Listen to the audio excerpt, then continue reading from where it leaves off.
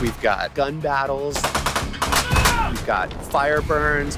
We've got a big car crash. It's Getting dirty is really exciting. And the scope of the movie is much, much bigger than we've ever done before. We're really lucky on this film because we have some amazing actors that are all willing to do their own action. One of my favorites is this stairwell fight that we have with uh, Y'lan. I like being intense, so for me to be able to get in there and get my heart beating, getting those adrenaline glands going, that's been cool. Jesus, that's a hand cannon. Let me see that. This is my first time shooting a gun, and having to fire at someone was crazy. This is my first time being able to do this much action. The fans always say we want more purging, so we definitely deliver on this movie more than we have ever before.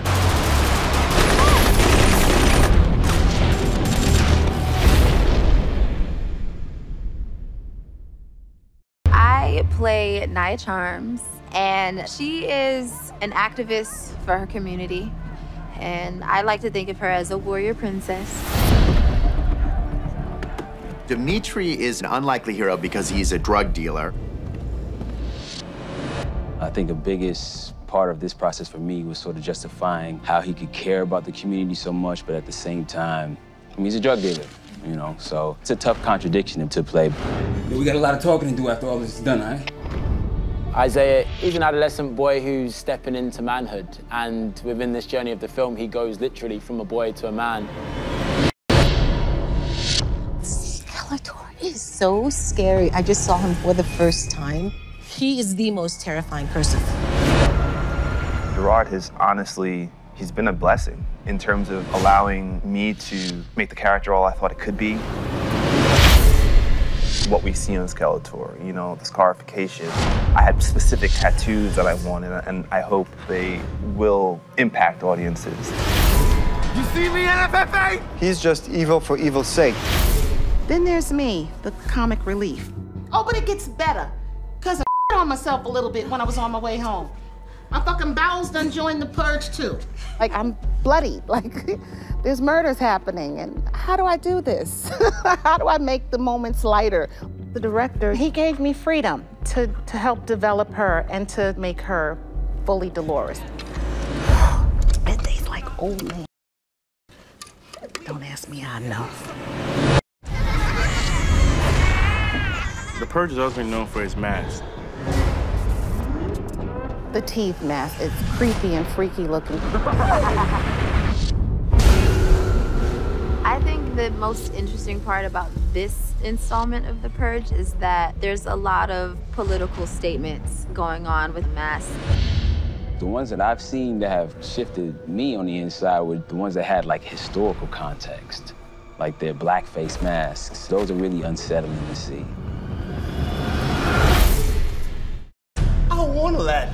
For everyone. That's the purge. Interesting term.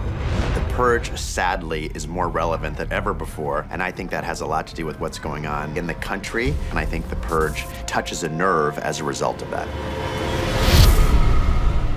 As a filmmaker of color, I really wanted to address the political issues head on.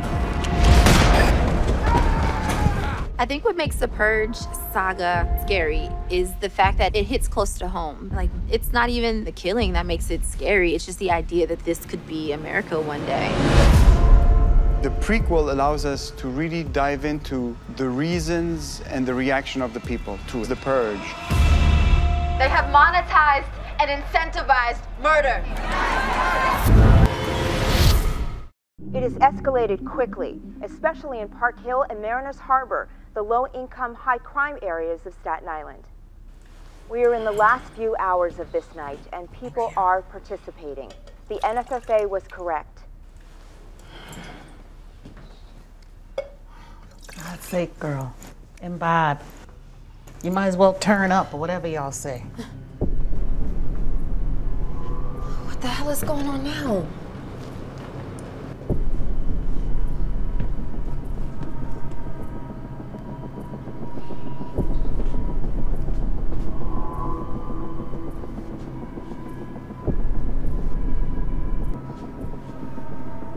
We'll imbibe now.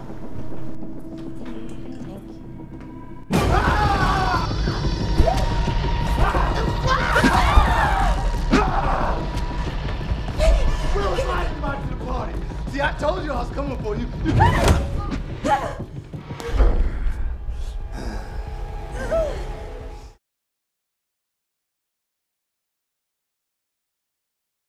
I play Nia Charms, and the she is an activist for her community. She is very strong, and I like to think of her as a warrior princess. Um, and she is at a, a point in life where it is hard. You know, the, nothing has come easy for her ever. She had to work for everything that she has or doesn't have. Um, and she is powerful in the sense that she's she does not like the idea of giving up or doesn't like the idea of there not being an answer. The community is participating in the purge because there is monetary gain. That is it. Um, everyone is struggling. Everyone is trying to make ends meet. And finally, in a way, their prayers have been answered with the amount of money that's being offered if they get through this one night. And on the grand scheme of things, it sounds pretty easy. Okay, I get through this one night. Cool. I gain this amount of money. So I just fundamentally it's it's because of the money. Naya is outraged by the idea of the purge. Um, she is looking at it as a bigger picture, bigger than the money. Um, she understands what this means for her culture, even more than just the community. It's it's way bigger than um, than this little project, this little experiment. And she's trying to convince people to wake up and realize what they're doing to us. Isaiah is Nia's younger brother, um, not younger by a lot of years, but a few, and he's just he's like her baby, whether he knows it or not she knows that that is like her baby um, and he has so much potential and Naya is working so hard to put him through this good school and just to set him above the influence of what our surroundings would give him and just trying not to make him a product of the environment. Dimitri is a kingpin. He's he's the guy in charge of handling all the corners, handling all um, their their stash, the what's coming into the town, what's coming out of town, all the transactions, the bigger the bigger transactions. He isn't the one who stands on the corner himself, rather he's the boss of everyone else. So people know not to mess with him. I really enjoy working with Gerard. He never lets us forget um, the realistic component of being in a culture like the black culture and minority culture and, and bringing that to the reality of, of the purge saga and how and how the culture would react or not react to certain situations so it's cool to see um, his perspective on on a night like this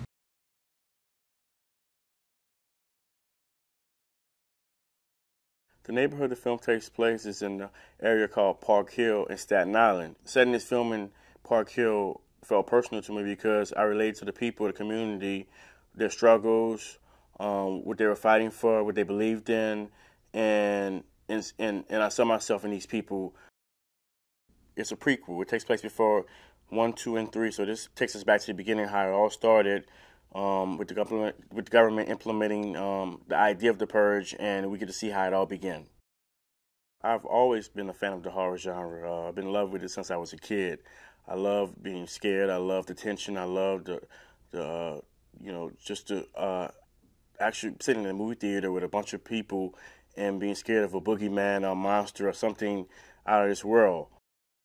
He's really concerned about this purge night. He doesn't know what's going to happen. His first time hearing about this, and he's really concerned. And he has to figure out what he's going to do during during this night. Is he going to protect his stash? Is he going to protect his family? Is he going to go out and is he going to go out and participate? and we get we get we we get the chance to see Demetria really um, do something special. Now she's a leader, she's a community activist, and she's against the purge. She feels the purge is is going to hurt our community, and she wants to protect her brother and anybody she knows from from this whole experiment.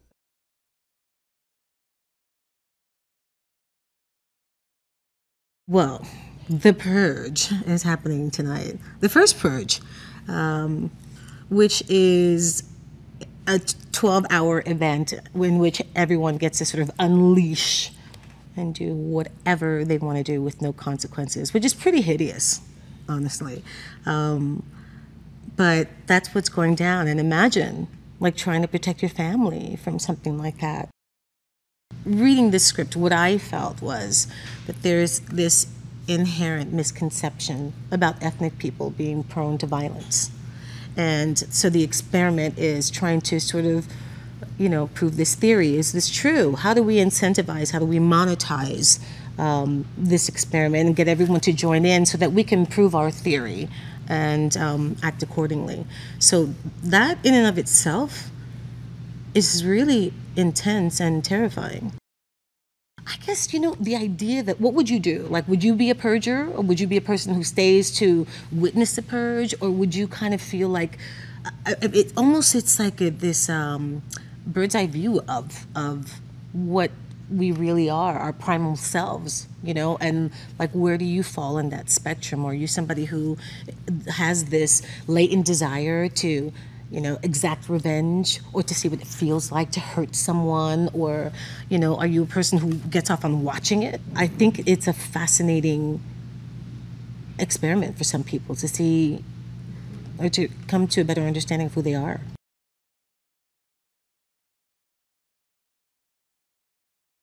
Isaiah is um, Naya's brother, and he's a character who is he's kind of he's a he's an adolescent boy who's you know stepping into manhood, and within this journey of the film, he goes literally from a boy to a man, and you you're able to see him really understand what it well, what he thinks it means to be a man, and he has his trials and tri tribulations in which kind of get him to that place. So he's he's yeah he's he's got a really strong arc within the film, kind of like the, the character in which your, your everyday young person will relate to and, and gives you the real experience of what it's like to be in the purge.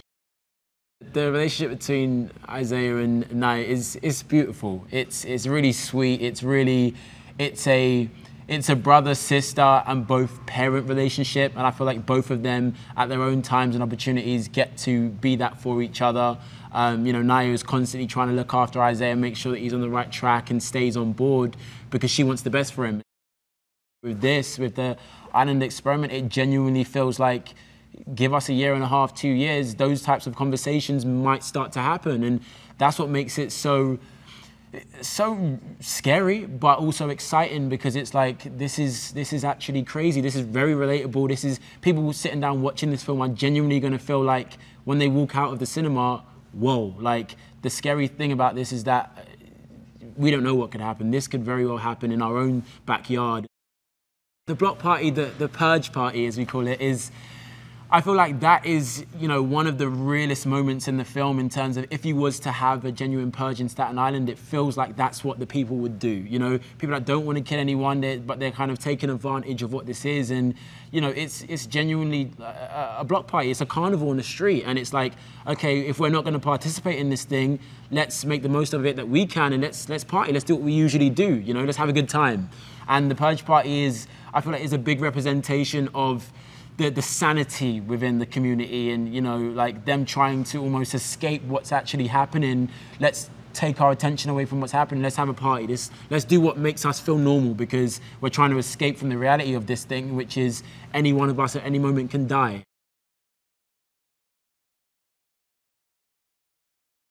I play Dolores, and if I can say it, she's like a lovable badass.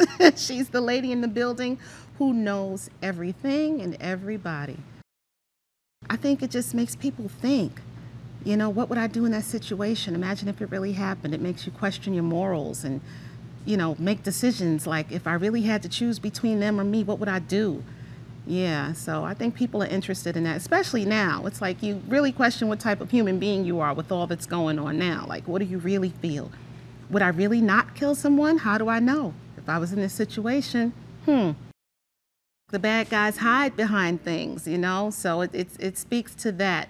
Who you really are is, is covered up by a mask, you know? And it could be anybody underneath the mask. It could be your boss, your neighbor, your so called friend, your coworker. We're taking it up 100 110. We're turning up the volume all the way, and you've never seen this before. You've seen purges maybe before, but this is totally different and new.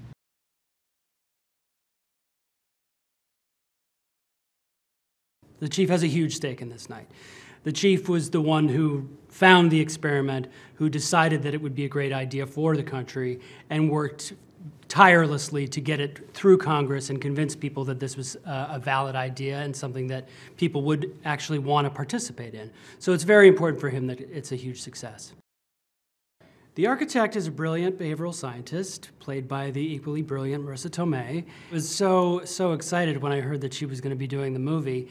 And uh, she's an actress that I've admired for a long time, and um, and I've met I think one or two times, and I thought she was an incredible person as well. So and and it's been everything I could have hoped for and more.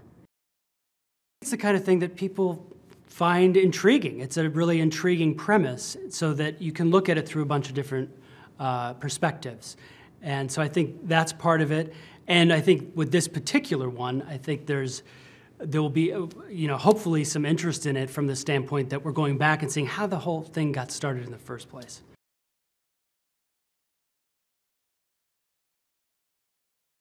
You have disenfranchised individuals who don't have much, and you say, all right, you participate in this trial, we'll give you thousands of dollars. You know, for some, that may not be a lot of money, but when you look at where they placed it, not only just the fact that it's Staten Island, but like the projects, Park Hill, Staten Island, is brilliant. You know, it, it it's twistedly brilliant to say, all right, well, if this is gonna work, this gives it the best chance to work. You know, with people who are looking for a leg up, looking for a way out. Know, that might be the ability for them to move or, or to change their circumstance. So yeah, they may have to survive this horrible thing, but what it does or what it has the potential to do is enormous. The contexts are interesting because you get to personalize uh, the Purge night in, in, in a really dynamic way.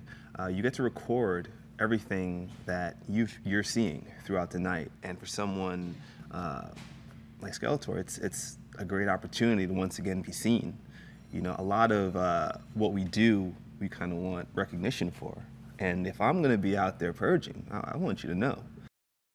This is, I think, completely different. Yeah, I think because it's the prequel, we also have license to create something brand new. And because everything hasn't been set up, we're setting up the franchise in a roundabout way. You know, and I, that concept to me was so exciting.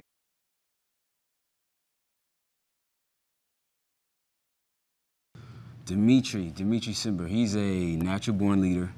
Um, someone, he's a mixed bag to be completely honest. Uh, I think the biggest part of this process for me was sort of justifying how he could care about the community so much, but at the same time play a role in, um, I mean, he's a drug dealer, you know, so it's a, it's a tough thing. It's it's, it's a tough contradiction to, to play, but I think there are people in the real world who, you know, are just like this guy. When we see the purge that came out in 2013, the first literal purge that came out, uh, we see that, you know, crime is at an all-time low and whatnot. So we get to go inside with this one and see how that came about.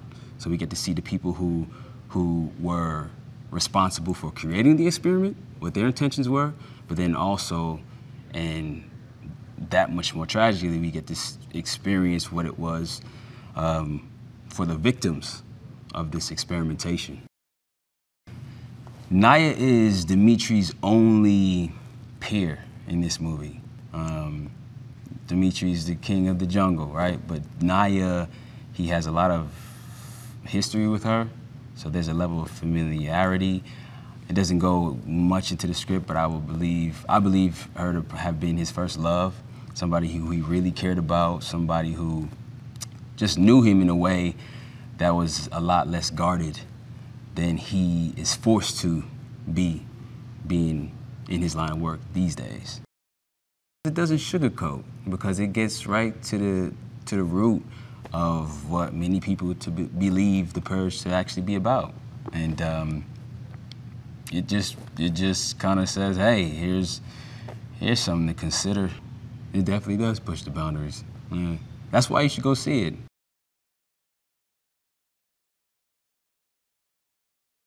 This is the fourth Purge movie, and um, the Purge, sadly, is more relevant than ever ever before, and I think that has a lot to do with what's going on in the world somewhat, but more specifically in the country. Founding fathers are very, very good marketers. So they marketed this notion that purging is good for you and purging is going to help society, whether you're rich or poor, and it's a good thing and it's going to be fun.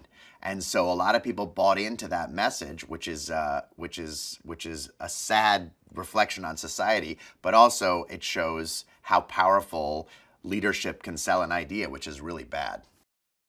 I think one of the fun things with the purge is that it's gotten more political. So I think uh, the the concept really lends itself to being um, to being political and and stirring up people's emotions around current issues out there in the world. I saw a movie called Burning Sands, which Gerard did, and I loved. And um, I sent it to James and Sebastian, who are our partners on all the Purge movies, and they liked it. And then we all sat and met with Gerard and were impressed with his vision for the movie. And we got together and did it. And he really did a terrific job, particularly with the actors, but but he did a great job all the way through. And um, and uh, and I think he's going on to do to do much more. So we had a great relationship with him.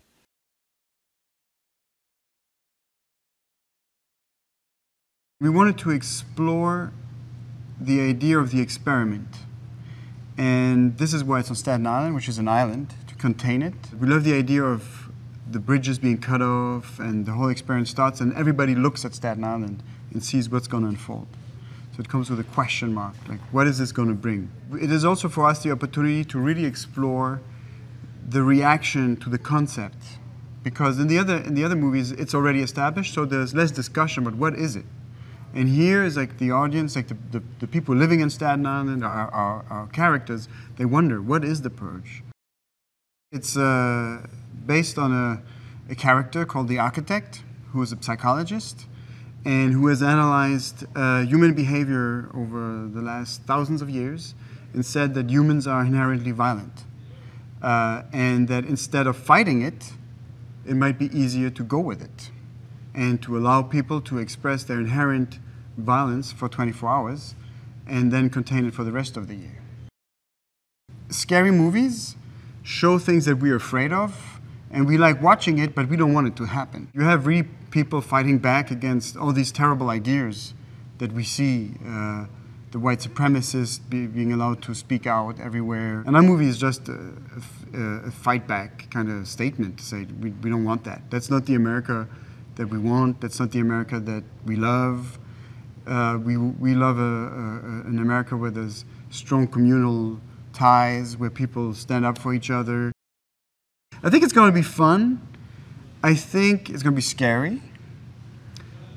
And I also think it's just going to be a catharsis. It's just going to be a relief because all the things that I think a lot of people hate in the world we live in right now, we fight in the movie. And I think that you're just going to feel better after seeing it. That's really my hope. Keeping on the movie theme, I've got a behind the scenes interesting fact for you from the movie Saw. While shooting Saw, both Cary Elwes and Leigh Whannell were told that a puppet was being used in a scene when actually a real actor was to be used. In order to keep the secret from them, all the scenes in the bathroom needed to be shot in one day, with them being authentically chained.